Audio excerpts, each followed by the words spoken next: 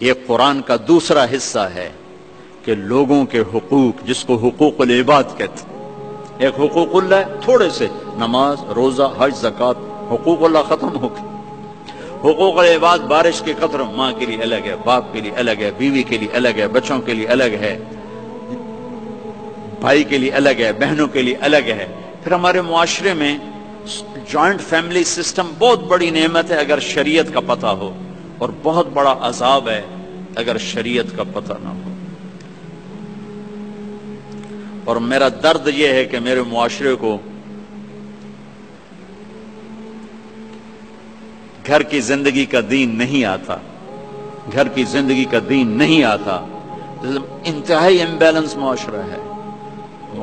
ماں باپ کی وجہ سے بیوی پہ زیادتی نہ کرنا۔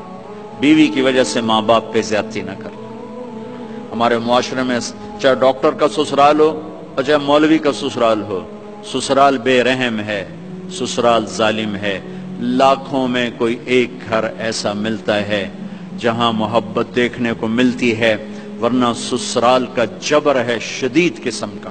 اور آنے والی لڑکی اپنی ساس، اپنا سسر، اپنی نندیں، اپنے دیور، سب کی نوکر بن کے آتی ہے۔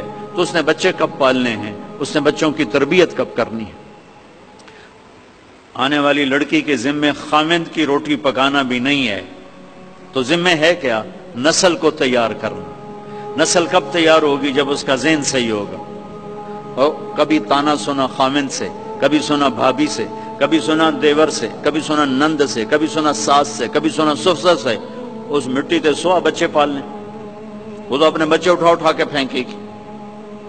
اور کتنا حکمت کا بول ہے میرے نبی کا کہ سات سال تک بس بچے کو پیار دو، نماز بھی نہ کہو، نماز بھی مت کہو۔ سات سال تک پیار دو، قریب کرو۔ سات سال کے بعد نماز کا کہنا شروع کرو۔ ہم تین سال کی عمر میں بچوں کو نرسری میں چھوڑ کے آ جاتے اور اس کے اندر میں ہم ایک زہر ڈال دیتے ہیں۔ تین سال کا بچہ کبھی اسکول جانے کے لیے تیار نہیں ہے۔ میں قربان جاؤں اپنے نبی پر سات سال تک بس سینے سے لگا کے رکھو ماں اور بچہ اور باپ، بس۔ اب دیکھنا، حضرت حاجرہ نے کیا کر کے دکھایا؟ چھ سال کے بچے کو کہاں پہنچایا؟ یا ابت فعل میں تو عمر۔ ابا جی ذبح کرنا جلدی کرو۔ اللہ اکبر۔ جلدی کرو، ذبح کرو۔ فرض۔ سات برس تک نماز بھی نہ کہو۔ دس سال کا ہو جائے، پھر نماز کا کہو۔ پھر نماز سات سال کی عمر میں نماز کا کہنا شروع کرو، دس برس کی عمر میں سختی شروع کرو۔ تو کیا کرو؟ صفات منتقل ہوتی ہیں جب بچہ ماں کی گود میں ہوتا ہے، ماں متوجہ ہوتی ہے، تو صفات منتقل ہوتی ہیں۔ اور جب اس کا ذہن ٹینس ہو، اس نے یہ کہا، اس نے وہ کہا، اس کو روٹی دینی ہے، اس کے کپڑے دھونے، اس کے کپڑے استری کرنے ہیں، تو وہ بچے کو ٹائم کب دے گی؟ تو یہ بہت امبیلنس سا معاشرہ ہے میرے بھائیو۔ اس کو سیکھو، میں جیسے جیسے نماز سیکھتے ہو، نبی کی معاشرت بھی سیکھو کہ آپ نے ایک مسلمان کا گھر کیسا ہونا چاہیے۔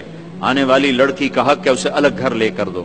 اگر اتنے پیسے نہیں، اسے الگ سیٹ اپ بنا کے دو۔ اس کا باتھ روم ہو، اس کا کچن ہو، اس کا کمرہ ہو۔ اگر اس کی بھی گنجائش نہیں ہے، تو کم از کم ایک کمرہ، ایک باتھ روم اور ایک چولہا اس کی ضرورت ہے، اسے الگ دو۔ یہ کوئی شریعت کے خلاف نہیں ہے۔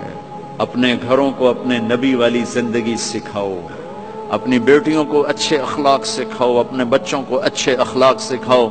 تم نے کل کسی کی بچی کو گھر میں لانا ہے، کل ان بچیوں نے کسی کے گھر جانا ہے۔ یہ جانے والی کسی گھر کے لیے عذاب نہ بنے اور یہ لے جانے والے کسی بچی کے لیے عذاب نہ بنے۔ ایک خوبصورت معاشرہ وجود میں آئے، جس پر اللہ بھی راضی ہو، اللہ کا نبی بھی راضی ہو۔ اور فرشتے بھی خوش ہوں اور اللہ راضی ہو کر دنیا اور آخرت بنا دے۔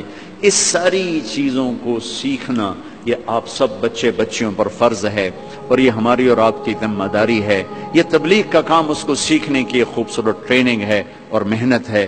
میں آپ سب سے عرض کروں گا، آپ بچوں سے کہ آپ جب آپ کو جب چھٹی ہو، آپ تبلیغ میں جایا کرو۔ تبلیغ سے مراد ہے ایمان کی محنت کو۔ تبلیغ سے مراد کوئی اوروں کو پریچ کرنا نہیں ہے۔ تبلیغ سے مراد ایمان اور اخلاق کو سیکھنے کی ایک خوبصورت محنت ہے جو اللہ کا فضل و کرم سے چھ بر اعظم میں ہو رہی ہے اور ساری دنیا کے انسانوں کو اس سے نفع پہنچ رہا ہے۔ میں آپ سب کی خدمت میں گزارش کروں گا کہ اس کو آپ سیکھنے کی نیت کرو، کوشش کرو۔